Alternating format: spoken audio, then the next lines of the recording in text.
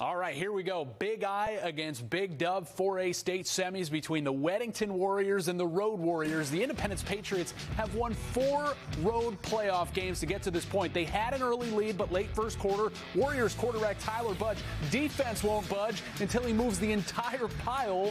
It's 13 to 7 Weddington. But how about this individual defensive play from Indy's Skylar Murray? It's your ball until it's my ball. Takes it right away from the running back Unfortunately, though, the Patriots could not turn it into points. Second half, a new team arrived. That'd be the weather. Rain pouring down at Weddington, on and off. Warriors wisely stick to the ground. First, it's Nick Diamond, the great effort to break through 20 to 7 Weddington. Then it's Budge keeping it again and rolling into a soaked end zone.